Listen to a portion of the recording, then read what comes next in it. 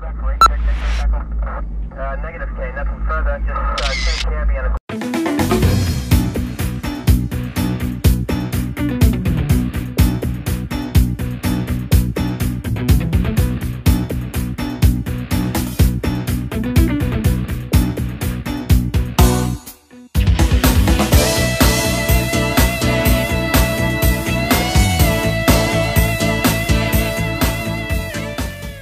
Пять вопросов повестки дня предстояло рассмотреть депутатам городского собрания силами на прошедшей сессии 21 ноября.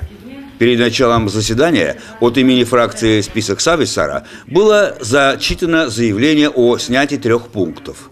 Утверждение членов постоянных комиссий Силомяевского городского собрания, выборы членов ревизионной комиссии Силомяевского городского собрания, назначение представителей в Союз самоуправлений и Давирума. Большинством голосов замечание не было поддержано, после чего депутаты фракции список Сависара покинули зал заседаний. Депутаты утвердили повестку дня из пяти пунктов. На вчерашнем заседании городского собрания председатели комиссии озвучили кандидатов в состав своих комиссий. В результате городское собрание состав этих комиссий утвердило. Э, также состоялись выборы в ревизионную комиссию городского собрания. Напомню, что по закону это тайное голосование. Были представлены кандидатуры и также утвержден количественный состав ревизионной комиссии. В ревизионную комиссию входят четыре депутата городского собрания. Это единственная комиссия, в которую входят только депутаты городского собрания. Было выдвинуто три кандидатуры – Михаил Соколов, Ирина Турбина и Олег Култаев. Была создана комиссия, и после тайного голосования членами ревизионной комиссии стали Михаил Соколов и Ирина Турбина. Также на вчерашнем заседании городского собрания были определены представители в Союз самоуправления Давирума. Ими стали председатель городского собрания Елена Коршунова и заместитель председателя Александр Канев со стороны городского собрания. Со стороны городского управления э, представителями стали Тынис Калберг, мэр города, и заместитель э, мэра по хозяйственной части Алексей Степанов. Четвертый пункт повестки дня. Пятый – дополнительный бюджет города Силаме. Доходы э, нашего бюджета 2017 года после принятия депутатами пятого дополнительного бюджета текущего года увеличились практически на 35 тысяч евро. Э, эти действия произошли за счет того, что были увеличены доходы по поступлению других местных самоуправлений за учебные места в наших детских садах и школах. То есть дети из других городов посещают наши учебные заведения. Э, следующие целевые денежные средства со стороны Центра инвестиций в окружающую среду 20 э, тысяч евро по целевому назначению получено для реализации проекта учебного для детских садов и школ. Но, к сожалению, в доходной части бюджета нам пришлось уменьшить план по доходам от аренды. Э, на 10 тысяч евро мы уменьшили эту сумму и добавили еще денежные средства по нашим бюджетным учреждениям от их хозяйственной деятельности. По целевому назначению эти деньги также пошли им в расходы. Что касается расходной части бюджета, то здесь мы сделали перераспределение некоторых э, денежных средств по статьям расходов. Э, на тех статьях расходов, где у нас к концу года образовалась экономия средств, мы направили на выполнение конкретных задач, которые стали перед нашим бюджетом в настоящий момент. Это выполнение предписаний различных департаментов. Э, мы увеличили свою долю расходов по оплате за учебные места другим городам, то есть где наши дети, которые зарегистрированы в нашем городе, посещают э, школы или детские сады в других городах. И также мы эм, выделили денежные средства в виде финансовой помощи э, нашей православной церкви, чтобы э, немного компенсировать их расходы по установке нового теплового узла в здании самой церкви, и там, где занимаются наши дети в воскресной школе «Радуга». Что касается денежных средств э, инвестиционной деятельности, два проекта не будут реализованы в этом году. Году. Денежные средства у нас остаются, и мы э, сняли с этих объектов э, деньги, а эти два проекта пойдут в реализацию уже в бюджет 2018 года, и направили 40 тысяч евро на здание Калда-14, где размещен наш молодой, молодежный открытый центр для, внутренних, для ремонта внутренних помещений этого здания. Бюджет, представленный депутатом, был сбалансирован, и вот с таким результатом мы подходим к концу года.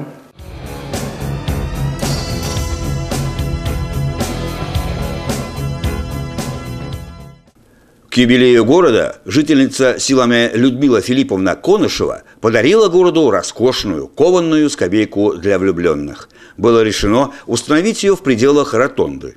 А для уточнения конкретного места главный архитектор города Владимир Шурмин и дарительница отправились на объект, где продолжаются строительные работы. Владимир Иванович, строительство не закончено, осталось совсем немного до сдачи вот этого объекта. А что же вы здесь сделали? Сейчас.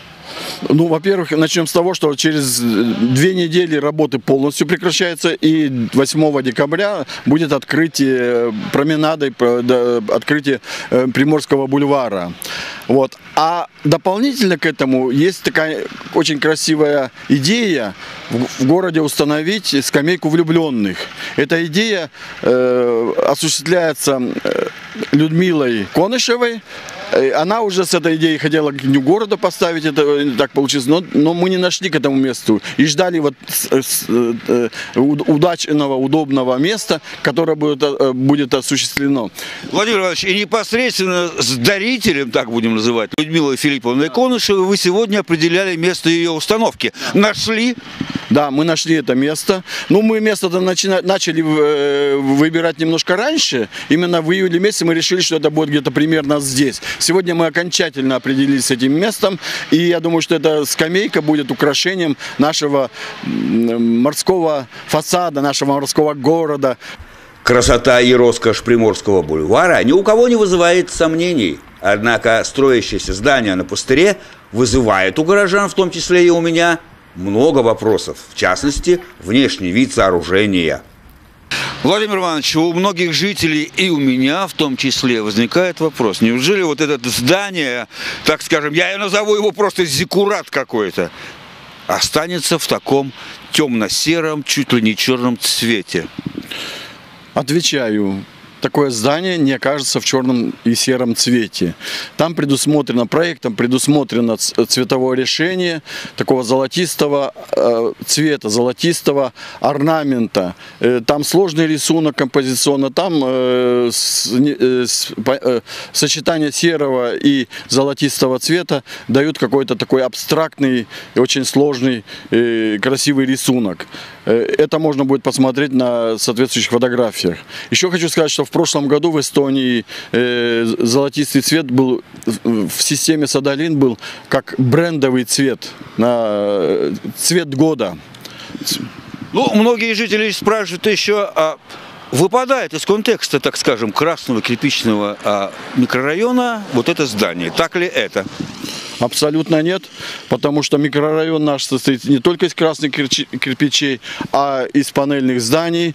Это здесь на переднем фоне одно здание, а вы здесь уже видите на этой картинке, смотрите, дальше уже пошли панельные дома. Основная масса красных кирпичных домов находится в 500 метров от, э, от этого дома. Поэтому, но планировочная единица, вот эта вот центральной части города, она самостоятельная. Здесь у нас появится и здание э, Максимы, которое будет совершенно в другом цвете. На заднем плане вы видите здание других торговых центров. Это никакого отношения к цвету микрорайона не имеет. И они абсолютно разного цвета, разного решения. А сзади мы видим хрущевские серые дома.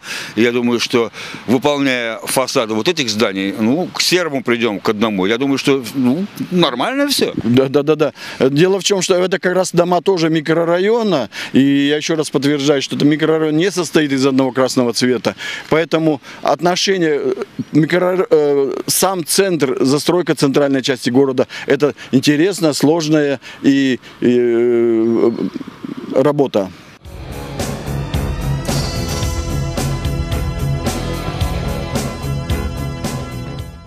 Уж сколько раз твердили миру, Бытовой газ взрывоопасен, а газовое оборудование нужно содержать в надлежащем порядке.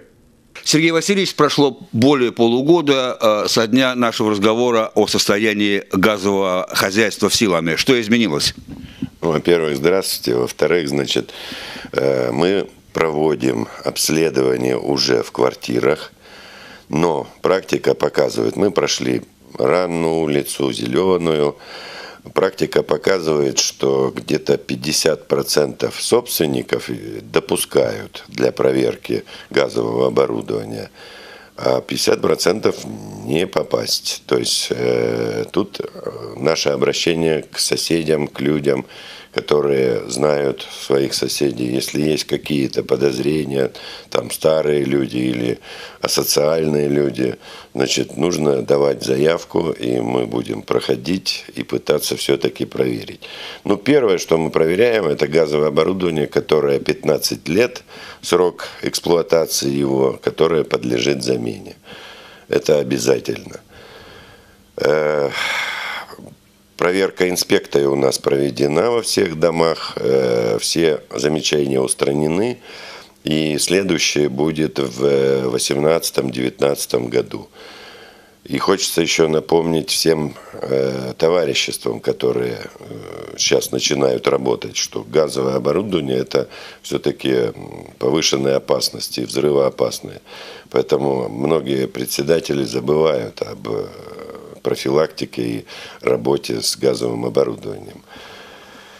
Сергей Васильевич, ну после проверки, наверное, работники рекомендуют жильцам приобрести новую плиту. Ну, например, а сейчас в продаже есть те плиты, которые, которые э, при работе которых отсутствие огня автоматически выключается подача газа, так? Так, да. Сейчас практически большинство, все практически оборудование газовое имеет, так сказать, блокировку. И, естественно, это у, увеличивает безопасность. Но у нас все равно ведь есть утечки и в газовых трубопроводах, э, в стыках. Да, в стыках, в, сты, в стыках. Эти вещи тоже надо периодически проверять, но это должен контролировать сам собственник и при любом подозрении давать заявку. Служба у нас работает круглосуточно, заявки принимаем. И тут же передаем газовой службе или сами выезжаем. То есть тут проблем не, не должно быть. Но перед самой проверкой дома, подъезда, наверное, вывешиваются объявления, в которых написано время проверки, э, число, время и прочее. Да, обязательно. Ну, мы даже э, проверяем сами, и проверяет наша газовая служба по нашему поручению, которое относится к водоканалу. Они обязательно вывешивают объявления и проходят соответствующие все. Они имеют допуски все, имеют э, лицензию, то есть сертифицированные работники. Недавно они все прошли обучение, и я в том числе. И поэтому мы можем проверять. Другие люди не имеют права проверять и подключать. и подключать. И вот это как раз очень часто бывает нарушено. Ну, давайте призовем наших жильцов с тем, чтобы они активнее принимали участие вот в проверке газового оборудования, ибо это крайне опасно. Да, обязательно. Я всех призываю обращаться только в специализированные фирмы, которые имеют право, до, э, имеют дос, доступ, допуск к работам с газовым оборудованием и к работе с горючим газом. Тогда проблем не будет. Ну и, соответственно, внутренний контроль жильцов дома, потому что это их собственность. Обязательно нужно проводить самим.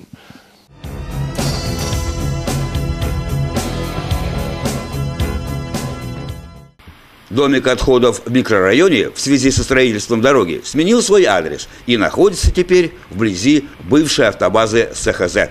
Но пункт приема опасных отходов по-прежнему находится около заправки Нестле и успешно функционирует. Владимир Алексеевич, горожане обратились ко мне с тем, чтобы я поблагодарил вас за вот ваш рейд. Вот очень благодарю вас от всех жителей нашего города. Ну что, Владимир Викторович э, и уважаемые горожане, наш пункт приема опасных проблемных отходов на автозаправочной станции Неста работает 21 год. 1996 году мы привезли вот этот вот первый контейнер. Вот, тогда он был первый выдавирума. И через два года мы сделали первую в Эстонии программу по обращению с опасными проблемными отходами. Мы брали датский опыт, финский опыт. И вот таким образом у нас он до сих пор здесь, на этой территории и существует. Владимир Алексеевич, что можно и что нужно сдать вот ваш пункт? Значит, не выкидывайте вот это руководство. В 2011 году городское управление... Вот, Давайте устно скажем хотя бы перечень. Ну и разработаны все здесь требования. Можете посмотреть. Вся, все, что вставляется в розетку, электророзетку, все здесь сдается. Сдается химия, старые краски. Вот.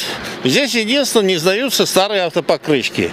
Они принимаются, так сказать, на верхней базе, на Таллинском шоссе. Холодильники, мониторы, стиральные машины, микроволновые печи. Все, что используется в домашнем хозяйстве с электроэнергией. Владимир Алексеевич, ну, наверное, многие не знают об этом пункте, не знают даже часы работы. Давайте еще раз напомним нашим горожанам. Постоянно пишем в Силомянском вестнике, работаем мы среда-воскресенье с 11 до 2, постоянно, и летом, и зимой. И поэтому просим жителей использовать этот пункт и не привозить его на домик отходов. Домик отходов сейчас переносится на улицу Толстого. Там будет сделана планировка, он будет узаконен, как, так как это территория портовая для автопарковки. И там будет электричество и будет постоянно расширенный домик отходов работать на улице Толстого. Добрый день. Добрый. Вы принесли сюда старый аккумулятор и компьютер. Да. А вы где взяли информацию о работе этого пункта? С сайта Соломя ЕЕ. И вы не выкинули это в неположенное место, принесли это о чем говорит? О вашей культуре или что? Наверное. Ну, благодарность вам за это.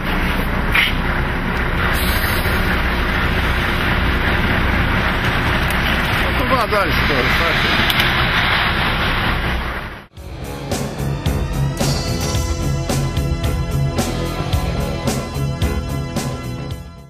Мы продолжаем рассказ о работе кружков Улья. Сегодня визит в кружок гитара.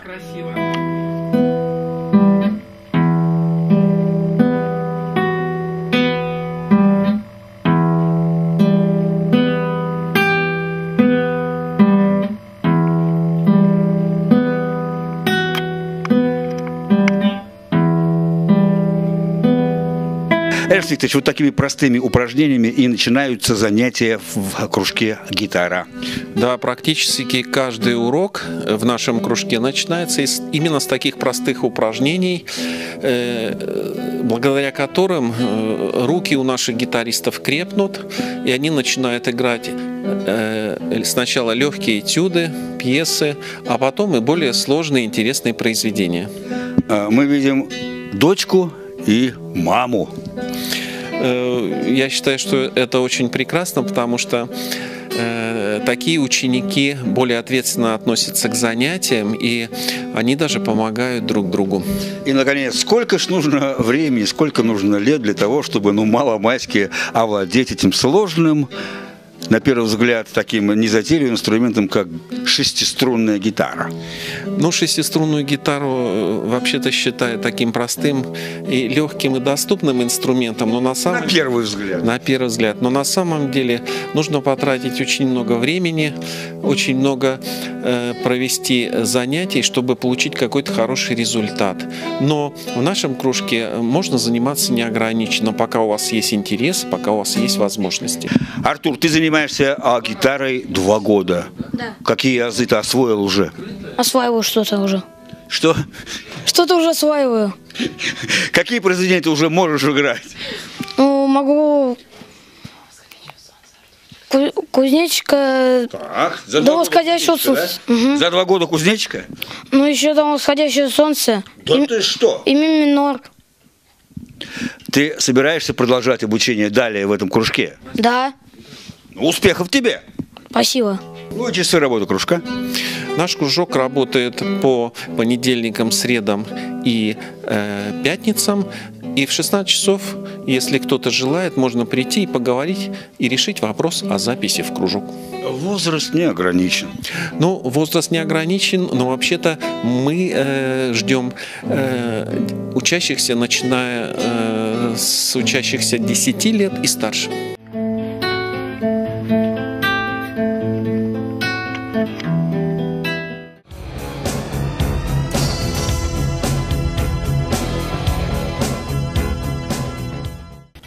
Водитель-дальнобойщик. Такова сегодняшняя профессия дипломированного музыканта Алексея Дергача. Но ничто и никто не сможет вытравить из души истинного, одаренного, ищущего музыканта. Полный зал или переаншлаг – так можно назвать творческий юбилейный концерт Алексея Дергача.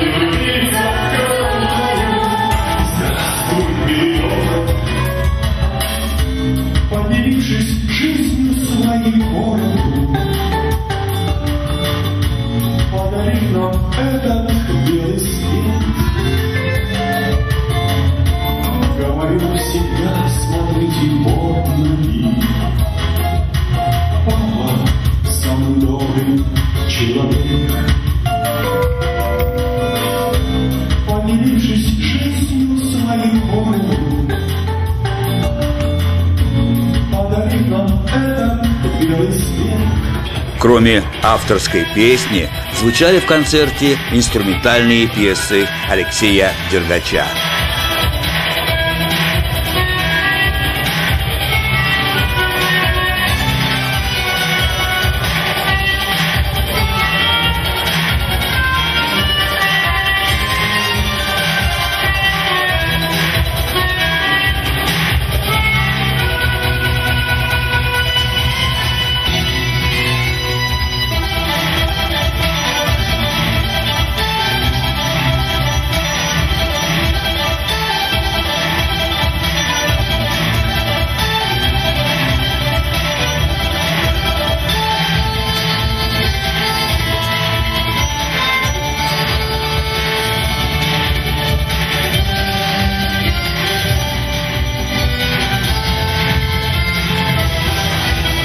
Концерте также приняли участие сестра Алексея, тоже дипломированный музыкант Наталья Ермолина и ее дочь Елизавета, гости из Нарвы, солист Андрей Маркус и коллектив бального танца «Фламинко».